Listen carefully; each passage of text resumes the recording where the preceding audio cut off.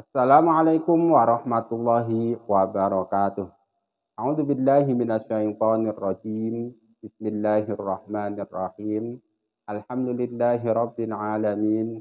Allahumma salli wa sallim ala sayyidina Muhammad wa ala ali sayyidina Muhammad. Amma ba'du. Kaum muslimin rahimakumullah, marilah kita sama-sama melanjutkan belajar membaca kitab hikam karangan Imam Ibnu Athaillah As-Sakandari. Kali ini kita akan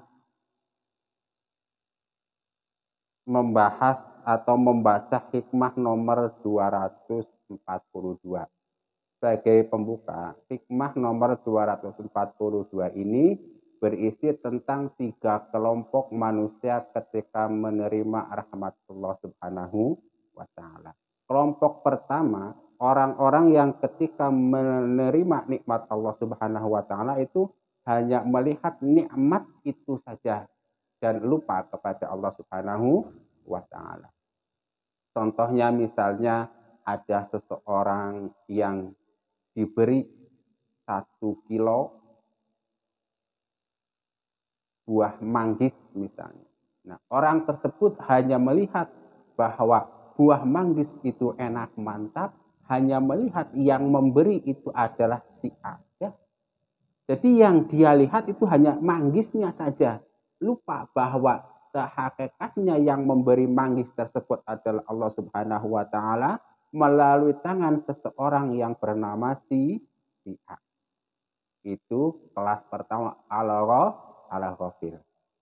Lalu kelas kedua, kelas orang-orang yang ketika diberi nikmat, itu dia melihat bahwa nikmat tersebut hakikatnya itu diberi oleh Allah Subhanahu wa taala. Jadi dia melihat manggis itu sebagai nikmat dari Allah Subhanahu wa taala dan hatinya juga tune in kepada Allah Subhanahu wa taala bahwa Allah lazat yang memberi dia nikmat. Dengan kata lain, orang jenis kedua ini melihat nikmat sebagai nikmat dari Allah Subhanahu wa taala. Lalu orang ini juga melihat bahwa yang sang pemberi nikmat sejati hanyalah Allah Subhanahu wa taala.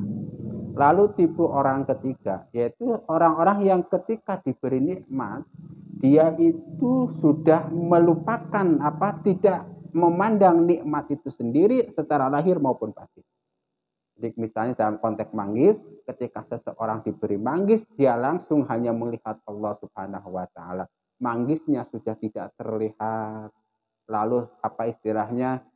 Uh, pemberi manggis juga nggak terlihat dia semata-mata bahagia bersama Allah. Jadi kepuasannya, kebahagiaannya hanya bersama Allah, tidak bersama manggis atau tidak bersama sebab-sebab datangnya mah manggis semata-mata hanya Allah Subhanahu wa taala yang terlihat. Coba kita baca hikmahnya. Wa qala radhiyallahu anhu mimma kataba bihi li ba'di ikhwanihi. Annasu fi wurudin minani alaihim ala sarasati aksamin. Manusia ketika menerima minan rahmat dari Allah, pemberian dari Allah itu terbagi menjadi tiga. Yang pertama farihun bil minani. Yang pertama itu orang yang bahagia dengan karunia Allah semata. Lamin haisu mubdi'iha wa munsi'iha walakin bi wujudi mut'atihi biha.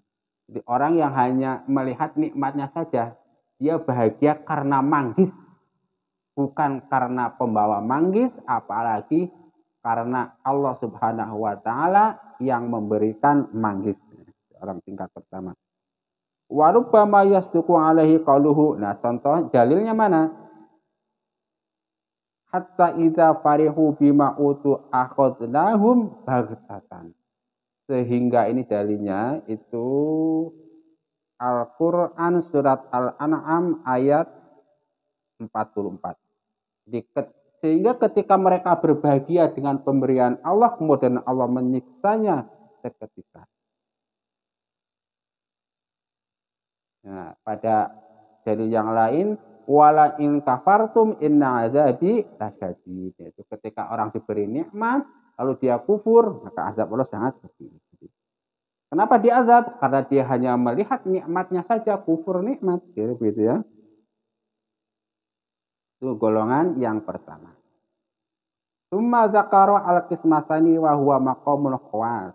Tingkat yang kedua itu wa farihun bil minani min haitsu innahu syahidaha minnatun mimman arsalaha wa nikmatun mimman awsalaha. Yang kedua, orang yang berbahagia dengan nikmat dengan anugerah tetapi dia milik karena dia tahu bahwa anugerah tersebut datangnya dari Allah, rahmat tersebut datangnya dari Allah, karena hal tersebut dia bahagia. Dia tahu nih manggis, manggis adalah kenikmatan makanan halal yang dikirimkan oleh Allah Subhanahu wa taala kepada dia, maka dia bahagia. Fayasduqu alaihi qaluhu fabidzalika falyafrahu huwa khairum mimma yajma'un.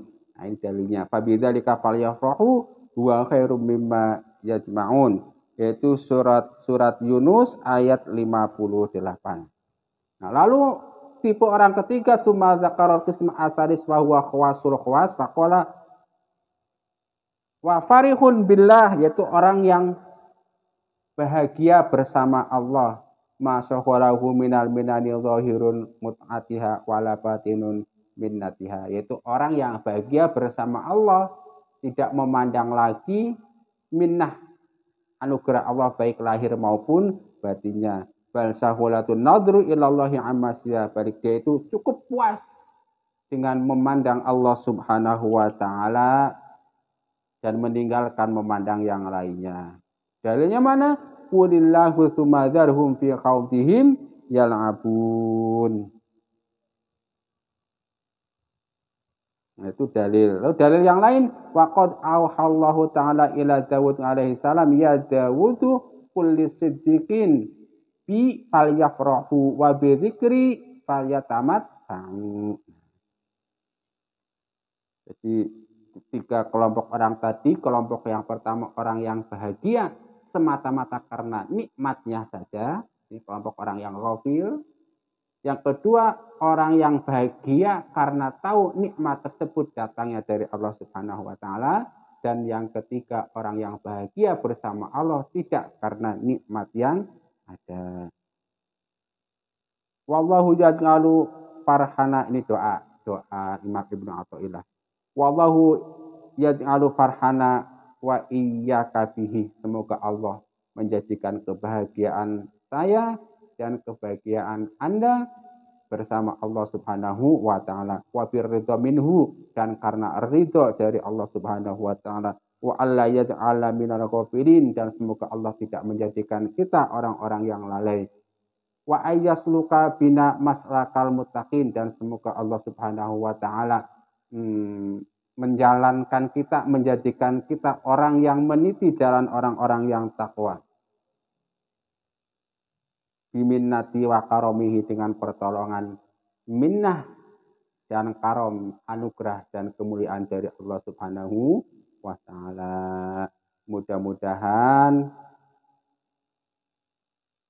kita semua setelah membaca kitab hikam ini oleh Allah Subhanahu wa taala dijadikan orang-orang yang bertakwa. Allahumma Amin. Rabbana taqabbal minna innaka antas samiul alim. Wa tub alaina innaka antat tawwabur rahim. Rabbana taqabbal minna innaka antas samiul alim. Wa tub alaina innaka antat tawwabur rahim.